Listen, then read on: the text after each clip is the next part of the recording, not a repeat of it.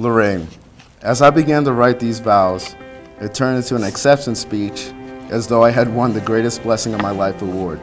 I'm grateful and appreciative for you being in my life. So let me be the first to say thank you for choosing me. Only with you I see my future. Only with you I face life, ready to embrace the challenges. I will be at your side through all of life's challenges. I promise to make your plans and your dreams as important to me as my own.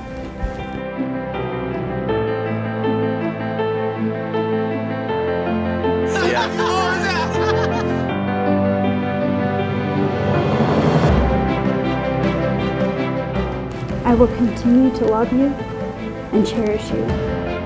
My brother, my best friend, my hero. Now the time has come to share my last sibling with another great person and learn the true definition of selflessness. I think that they make each other better. Just a joy to be here to watch Keith and Lorraine.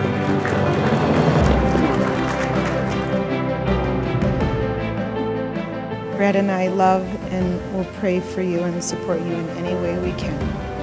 Only with you I can achieve the greatest accomplishments in life to be a dedicated husband and father. Promises made here today are sincere and heartfelt, but I know the power of these vows are in my actions. I look forward to working to show my appreciation for the love you have bestowed upon me. I love you.